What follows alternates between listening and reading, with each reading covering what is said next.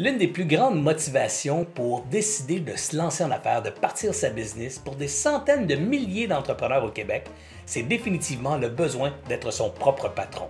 Le besoin d'être responsable à 100% des résultats de son travail au quotidien, de pouvoir faire les choses à sa façon, de prendre des décisions, de, gérer la business avec ses valeurs, ses convictions.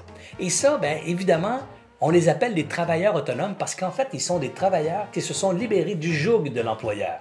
Mais j'aime mieux les appeler, moi, des solopreneurs, des, entrepreneurs seuls. Pourquoi? Parce que c'est pas juste du travail, c'est pas juste le travail de livrer un produit, un service, c'est aussi la démarche d'aller chercher le client. Hein. Donc, le solopreneur est beaucoup plus un entrepreneur qu'un travailleur parce qu'il doit démarcher de la clientèle, aller chercher de la clientèle. Il doit aussi démarcher des fournisseurs, réguler, euh, gérer des relations avec les fournisseurs. Il doit faire des chèques aux fournisseurs, percevoir des recevables de ses clients, il doit faire la comptabilité, il doit faire le marketing, il doit faire la technologie. Bref, le solopreneur a toutes les fonctions qu'on retrouve dans une entreprise et il est seul à toutes les assumer solopreneur, what a job, quelle, lourde responsabilité.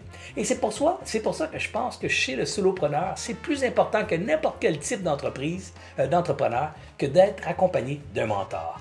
Imaginez le solopreneur seul avec lui-même pour toutes ses décisions. Il a besoin régulièrement de prendre de faire un pas par en arrière, de prendre du recul par rapport à son organisation pour se questionner, pour se poser les bonnes, le bon regard sur l'organisation, sur, son futur, sur ses façons de faire.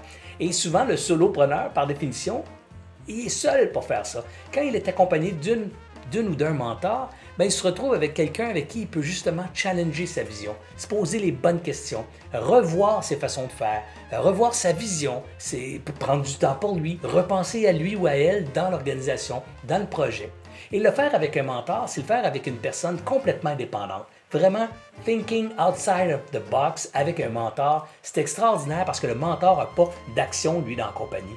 Il n'est pas ou elle n'est pas actionnaire, optionnaire. Elle n'est même pas rémunérée ni par vous ni par l'entreprise. Aucune rémunération. C'est un geste de pure générosité que le mentor fait quand il s'assoit avec vous, le solopreneur.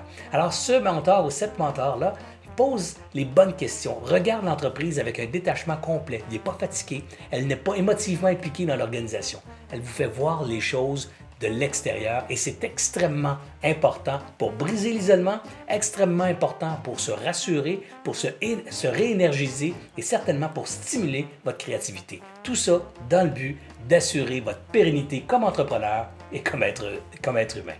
Sur ce, bon succès!